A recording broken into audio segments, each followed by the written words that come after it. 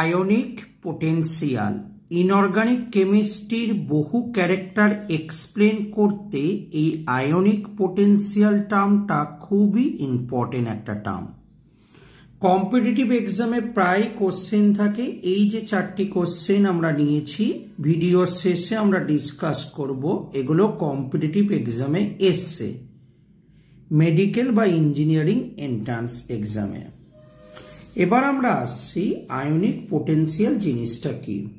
মনে রাখবে charge by radius এদের রেশিওটাকে বলব আমরা ফাই বা আয়নিক পোটেন্সিয়াল যদি ফাই এর ভ্যালু হাই হয়, তার মানে এইটা বোঝাচ্ছে চার্জ বাই রেডিয়াসের এই রেশিওটার ভ্যালু হাই কখন এটা হাই হবে? যখন ওপরের টার্ম মানে চার্জটা বাড়বে অথবা রেডিয়াসটা কমবে, তখনই ফাইয়ের ভ্যালুটা হাই হওয়া সম্ভব। এখন যদি দেখো ফাইয়ের ভ্যালু হাই হচ্ছে, তখন মনে রাখবে তাদের সলিবিলিটিটা লো হবে। অর্থাৎ দুটো আয়ন দিলাম, এই দুটো আয়নের মধ্যে ফাইয়ের ভ্যালু যার হাই তার সলিবিলিটিটা লো হবে, অথবা সেটা প্রেসিপিটেট পড়বে। এক্সাম্পল হিসাবে আমি দেখানোর জন্য এসএন টু প্লাস এবং এসএন ফোর প্লাস নিলাম। যেহেতু দেখো দুটোই টিন রেডিয়াসটা চার্জের চেঞ্জের জন্য অল্প চেঞ্জ হয়, এটা সত্যি। কিন্তু চার্জের দেখ, দেখাটা যদি দেখো, দেখবে প্লাস ফোর চার্জের জন্য ফাইয়ের ভ্যালু অনেক বেশি হচ্ছে। অর্থাৎ এস এন ফোর প্লাসের চার্জটা বেশি, তাই জন্য ফাইয়ের ভ্যালুটা বেশি। মানে আয়নিক পোটেন্সিয়াল বেশি। তার মানে এটা বলব এস এন ফোর প্লাসের যে সল্টটা রয়েছে, সেই সল্টের সলিবিলিটিটা লো হবে অথবা সেটা ইজিলিভাবে প্রেসিপিটেট পড়বে। এক্সাম্পল হিসাবে দিতে পারি, আমাদের মাটির নিচে তলায় এফি টু প্লাস আয়ন থাকে। যখন আমরা টিউবওয়েলের সাহায্যে ওয়াটারটাকে পাম্প করে বার করে নিই, সেখানে অক্সিজেন আসে এবং অক্সিজেন এই এফি টু প্লাসকে অক্সিডাইজড করে এফি থ্রি প্লাস করে দেয়।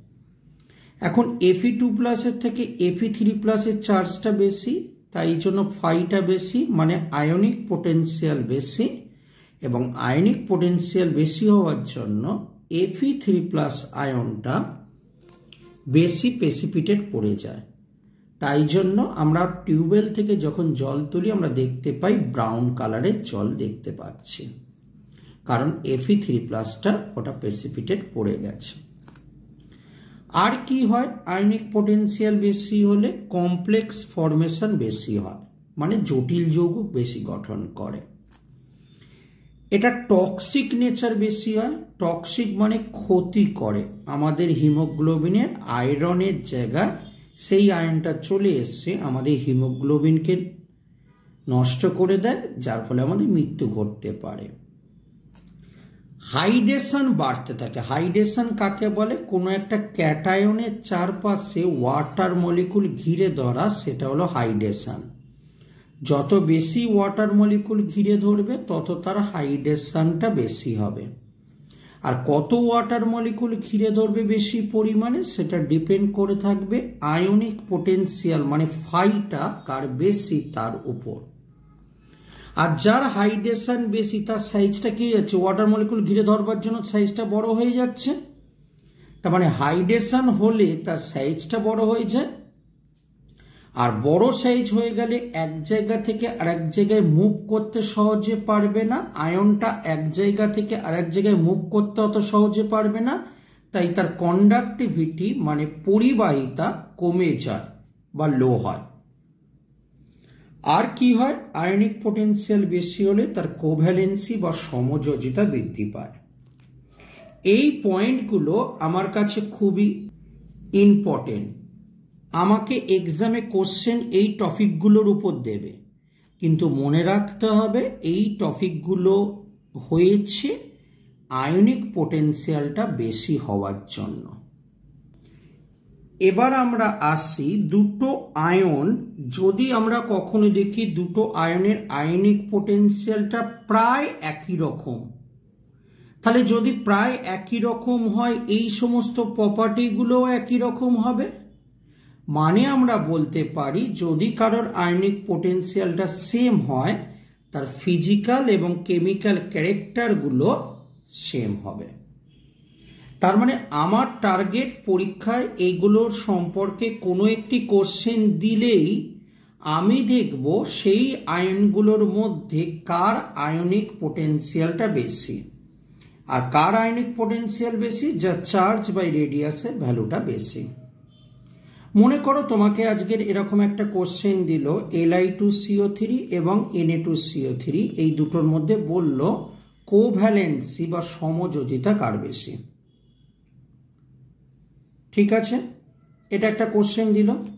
তাহলে তুমি পিরিয়ডিক টেবিলের দিকে তাকিয়ে দেখলে দেখতে পাবে lithium sodium potassium rubidium caesium francium তাহলে লিথিয়াম এবং সোডিয়ামের মধ্যে লিথিয়াম ওপর দিকে রয়েছে মানে ছোট সাইজ আর সোডিয়াম কি আছে? বড় সাইজ তাহলে যার সাইজটা ছোট রেডিয়াসটা কম, তার ফাইটা বেশি।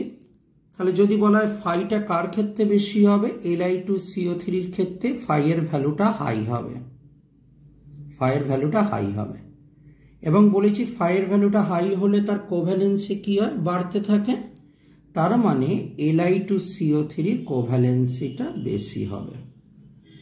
মনে করো তোমাকে আজকের একটা কোশ্চেন দিল যে এরকম একটা কোশ্চেন দিল লিথিয়াম আর সোডিয়াম প্লাসের মধ্যে কার কন্ডাক্টিভিটি বেশি যদি কোশ্চেন দেয়।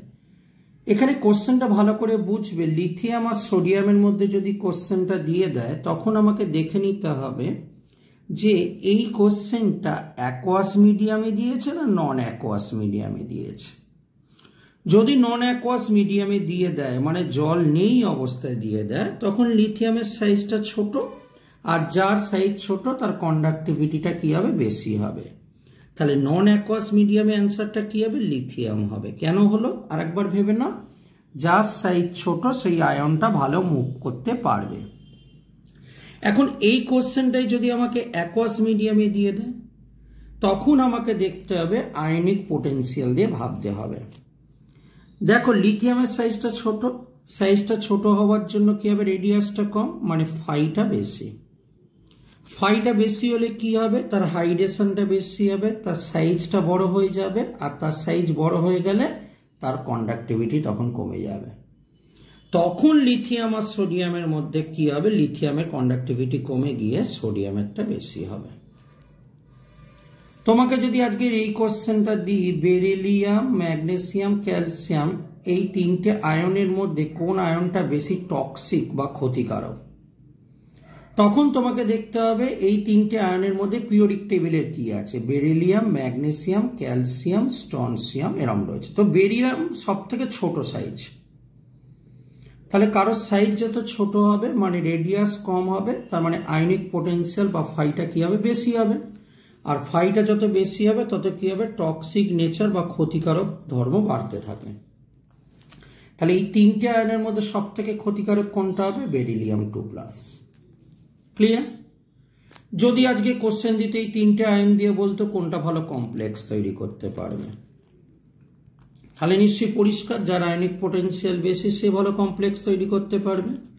তো এই তিনটে আয়নের মধ্যে কোনটার আয়নিক পোটেন্সিয়াল বেশি? বেরিলিয়াম টু প্লাসে তার মানে বেরিলিয়াম টু প্লাস আয়নটা ভালো কমপ্লেক্স তৈরি করতে পারবে। তো কোশ্চেনগুলো তোমার কাছে এইগুলো হবে, কিন্তু সবার অ্যান্সার কি দিয়ে এক্সপ্লেন হবে না আয়নিক পোটেন্সিয়াল দিয়ে এক্সপ্লেন হবে?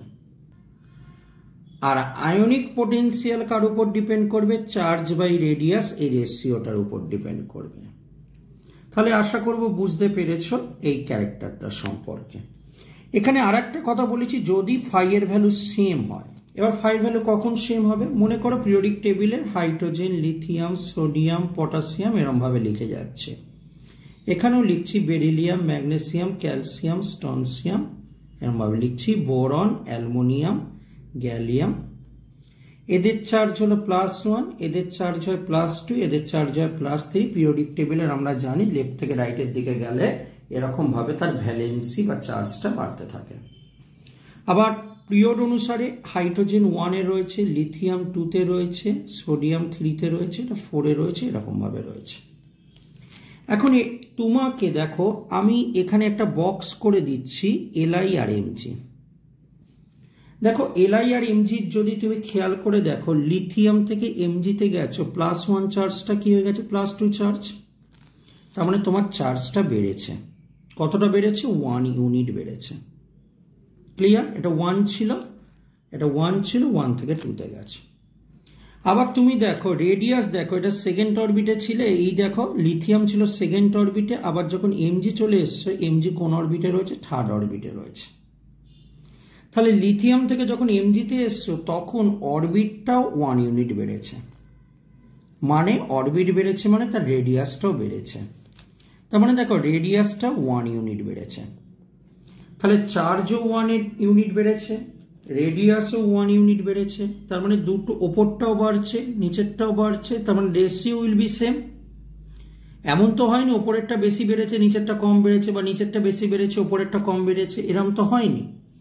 তুমি দেখতে পেলে লিথিয়াম থেকে এমজি যদি দুজনের ক্যারেক্টার দেখার চেষ্টা করি লিথিয়ামের সিরিজের সবার চার্জ হলো প্লাস ওয়ান এদের সিরিজের সবার চার্জ হলো প্লাস টু সো লিথিয়াম থেকে এমজিতে গেলে চার্জ ওয়ান ইউনিট বাড়ে। অ্যাডিশনালি লিথিয়াম পিরিয়ডিক টেবিলের সেকেন্ড অরবিটে রয়েছে এমজি পিরিয়ডিক টেবিলের থার্ড অরবিটে রয়েছে, অর্থাৎ লিথিয়াম থেকে এমজিতে গেলে তার অরবিটটাও ওয়ান ইউনিট বাড়ে মানে রেডিয়াসটাও ওয়ান ইউনিট বাড়ে। তাহলে চার্জও সেম চার্জও ওয়ান ইউনিট বেড়েছে রেডিয়াসও ওয়ান ইউনিট বেড়েছে। তাহলে ultimately the ratio of charge and radius charge এবং রেডিয়াসের যে রেশিও যেটাকে আমরা আইনিক পোটেন্সিয়াল বলি দুটোই যেহেতু ওয়ান ইউনিট বেড়েছে, তাহলে বলতে পারি এদের যে রেশিও উইল বি সেম এদের অনুপাতটা কি হবে? একই হবে। আর যদি অনুপাতটা একই হয় ফাইয়ের ভ্যালুটাও সেম হবে। ফায়ার ভ্যালুটা সেম হলে ফিজিক্যাল এবং কেমিক্যাল প্রপার্টিগুলোও সেম হবে। কিন্তু তুমি কি দেখলে লিথিয়াম আর এমজির মধ্যেই এই ঘটনাটা ঘটতে পারছে। লিথিয়াম এবং এমজি পিরিয়ডিক টেবিলের কীভাবে রয়েছে, ডায়াগোনালি রয়েছে, কোনাকুনি অবস্থায় রয়েছে, তাই জন্য লিথিয়াম এবং এমজিকে বলা হয় ডায়াগোনাল রিলেশনশিপ, কারণ এরা ডায়াগোনালি ভাবে রয়েছে। অ্যাডিশনালি খেয়াল করে দেখো, বেরিলিয়াম এবং এমজি বেরিলিয়াম এবং অ্যালমোনিয়ামের ক্ষেত্রে খেয়াল করে দেখো, এরাও দেখো ডায়াগোনালি রয়েছে। দেখো চার্জটা দেখো প্লাস টু থেকে অ্যালমোনিয়ামে চলে আসলে প্লাস থ্রি হয়, এই গ্রুপে সবার প্লাস থ্রি হয়, তো টু থেকে থ্রি হচ্ছে। এগেন চার্জটা ওয়ান ইউনিট বেড়েছে। আর রেডিয়াসের যদি খেয়াল করো বেরিলিয়াম রয়েছে পিওরিক টেবিলের সেকেন্ড অরবিটে অ্যালমোনিয়াম রয়েছে পিওরিক টেবিলের থার্ড অরবিটে সেকেন্ড থেকে থার্ডে যাচ্ছে মানে এগেন রেডিয়াস বা সাইজ ওয়ান ইউনিট বেড়েছে। তাহলে চার্জও one unit রেডিয়াসও one unit so ionic potential will be same R ionic potential যদি সেম হয়ে থাকে, তখন তার ফিজিক্যাল এবং কেমিক্যাল প্রপার্টিও সেম হবে। এবং তুমি খেয়াল করে দেখছ ডায়াগোনালি থাকা দুখানা এলিমেন্টের মধ্যেই এই ঘটনাটা ঘটছে।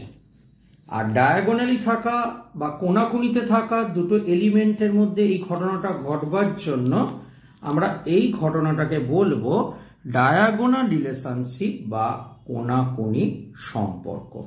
ওকে তাহলে আমরা বুঝতে পেরেছি চার্জ বাই রেডিয়াস এই রেশিওটাকে আইনিক পোটেন্সিয়াল বলব। আইনিক পোটেন্সিয়াল বাড়লে কি কি হয় দেখতে পেয়েছ? আর আইনিক পোটেন্সিয়াল সেম হলে ফিজিক্যাল কেমিক্যাল প্রপার্টি সেম হবে এবং ডায়াগোনালি থাকা দুটো অ্যাটমের মধ্যে এই ঘটনাটা ঘটে, তাই এটাকে ডায়াগোনাল রিলেশনশিপ বলে। এবার আমরা চলে আসছি কতগুলো কোশ্চেন যে কোশ্চেনটা এই যে কোশ্চেন এটা হলো নিটে এসছিল মেডিকেলের কোশ্চেন কোনো অসুবিধা নেই। তুমি দেখো, খেয়াল করে দেখো, সিজিয়াম ক্লোরাইড, তার মানে চার্জ হলো প্লাস ওয়ান কারণ ক্লোরিন হলো মাইনাস ওয়ান তাহলে দুটো ক্লোরিন আছে এটার চার্জ কত প্লাস টু অ্যালমোনিয়ামের এখানে তিনটে আছে থ্রি এটা হলো প্লাস সিক্স তাহলে খেয়াল করে দেখতে পাচ্ছ যে এস এফ সিক্স যে আয়নটা রয়েছে, সেই এস এফ সিক্স আয়নটার মধ্যে চার্জ দেখো সবচেয়ে বেশি। আর চার্জ সব থেকে বেশি হলে কি হবে? চার্জ সব থেকে বেশি হলে চার্জ যত বেশি হবে, খেয়াল করে দেখো, তার আইনিক পোটেন্সিয়াল বেশি হবে। তার মানে আমাকে কোশ্চেনটা বলেছে আইনিক পোটেন্সিয়াল কারও বেশি? তার মানে যেহেতু চার্জ বেশি, তাই চার্জ বাই রেডিয়াস এই রেশিওটাও বেশি হবে। তার মানে আমার অ্যান্সার হবে এস এফ সিক্স তাহলে যদি আমরা গ্রেটার দ্যান লেস দ্যান করি এস এফ সিক্সের পর হবে এল এফ থ্রি তারপর হবে এমজিসিএল টু আর সবার শেষে হবে সিজিয়াম ক্লোরাইড তাহলে নিটের এই কোশ্চেনটা পারছি। এরপরের যে কোশ্চেনটা আছে, এই কোশ্চেনটা যেই মেনে এসছিল। বলেছে অ্যাকোয়াস মিডিয়ামে মানে জল রয়েছে। জল রয়েছে মানেই আমার কাছে এই হাইড্রেশন ব্যাপারটা ঘটবে। আচ্ছা হাইড্রেশন কার বেশি হয়? যার আইনিক পোটেন্সিয়াল বেশি। আইনিক পোটেন্সিয়াল কার বেশি? যার চার্জ বাই রেডিয়াস রেশিওটা বেশি। পিওরিক টেবিলে একবার দেখে নাও। Beryllium magnesium calcium strontium barium radium তাহলে দেখো বেরিলিয়ামের সাইজ সব থেকে স্মল সাইজ সব থেকে ছোট। তাহলে বেরিলিয়ামের সাইজ সব থেকে ছোট হওয়ার জন্য রেডিয়াস সবচেয়ে ছোট হওয়ার জন্য ফায়ার ভ্যালুটা কী হবে? সবচেয়ে বেশি। আর ফায়ার ভ্যালু সবচেয়ে বেশি মানে কি হবে? হাইড্রেশনটা সবচেয়ে বেশি হবে। আর হাইড্রেশনটা বেশি হলে কি হয়? তার সাইজটা বড় হয়ে যায়। তাহলে এখানে কে বড় সাইজ হবে? এখানে বেরিলিয়াম টু প্লাস সব থেকে বড় সাইজ হবে। যদি জল না থাকতো বেরিলিয়াম সবচেয়ে ছোট হতো কিন্তু। কিন্তু জলের মধ্যে রয়েছে বলে ছোট সাইজের বেরিলিয়ামটা চারপাশে বেশি ওয়াটার মলিকুল ঘিরে ধরছে। ফলে বেরিলিয়াম টু প্লাসের সাইজটাকে তখন কি করে দেবে? লার্জ করে দেবে। তার মানে বেরিলিয়াম তারপর হবে ম্যাগনেসিয়াম, তারপর হবে ক্যালসিয়াম, তারপর হবে স্টনসিয়াম। এটা অ্যাকোয়াস মিডিয়ামে আছে বলে এরম করল। আর যে নন অ্যাকোয়াস মিডিয়ামে থাকতো, স্টনসিয়াম তখন সবচেয়ে বড় হতো। ব্যাপারটা কেন উল্টো হলে বুঝতে পারলে তো? যত আয়নিক পোটেন্সিয়াল বেশি হবে, তত চার, চারপাশে ওয়াটার মলিকুল বেশি ঘিরে ধরে। আর ওয়াটার মলিকুল বেশি পরিমাণে ঘিরে ধরবার জন্য তার তার সাইজটা কী হয়ে যায়? ওভারঅল সাইজটা কী হয়ে যায়? বড় হয়ে যায়। তাই না? তো আমাকে দেখতে হবে আয়নিক পোটেন্সিয়াল কার বেশি তাই জন্য এই পয়েন্টটাকে ভালো করে মাথার মধ্যে গেঁথে নাও, তুমি তাহলে দেখবে সব কোশ্চেন করতে পারবে। আরেকটি কোশ্চেন নিচ্ছি ওয়েস্ট বেঙ্গল জয়েন্টে এসেছিল। বলেছে আইনিক পোটেন্সিয়াল কোনটার ক্ষেত্রে ম্যাক্সিমাম তাহলে আইনিক পোটেন্সিয়াল কোনটার ক্ষেত্রে ম্যাক্সিমাম বলেছে? দেখো boron aluminium gallium indium thallium তাহলে কে ছোট সাইজ বোরন হলো সব থেকে স্মল সাইজ তাহলে যদি স্মল সাইজ হয়ে থাকে, যত সাইজটা স্মল হবে রেডিয়াসটা কম হবে, তত আইনিক পোটেন্সিয়াল কি হবে? বেশি হবে। তাহলে আয়নিক পোটেন্সিয়াল সব থেকে বেশি কোনটার হবে? বিসিএল থ্রি হবে। তারপরে এলসিএল থ্রি বুঝতে পারছ তো? বোরনের সাইজটা সব থেকে ছোট, তারপরে অ্যালমোনিয়ামে, আর যত ছোট সাইজ হয় রেডিয়াস কম মানে তার আয়নিক পোটেন্সিয়ালটা বেশি হয়। তারপর গ্যালিয়াম আর তারপর ইন্ডিয়াম ক্লিয়ার এবার চলে আসছি সলিবিলিটি বা দ্রাব্যতা। একটা কোশ্চেন দেওয়া ছিল। এটা বোর্ড এক্সামের কোশ্চেন বলেছে এই দুটোর মধ্যে কোনটা সলিবিলিটি বেশি? তাহলে বুঝতেই পারছ প্লাস টু আর প্লাস থ্রি চার্জ চার্জ বেশি হলে কি হবে? আইনিক পোটেন্সিয়াল বাড়বে।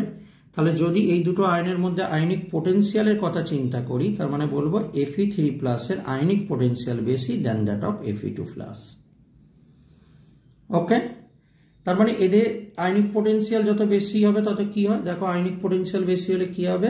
লো সলিবিলিটি বা বেশি পরিমাণে কি হবে? প্রেসিপিটেশন পড়ে। তো এই ছিল বিভিন্ন কম্পিটিটিভ এক্সামের কোশ্চেন আর এই ভিডিওটার মধ্যে দিয়ে আমি ডিসকাস করেছি আইনিক পোটেন্সিয়াল ব্যাপারটা কি আইনিক পোটেন্সিয়াল বাড়লে কি কি ঘটনা ঘটে। এটা একটু ভালো করে নিজের মেমোরির মধ্যে গেঁথে নাও।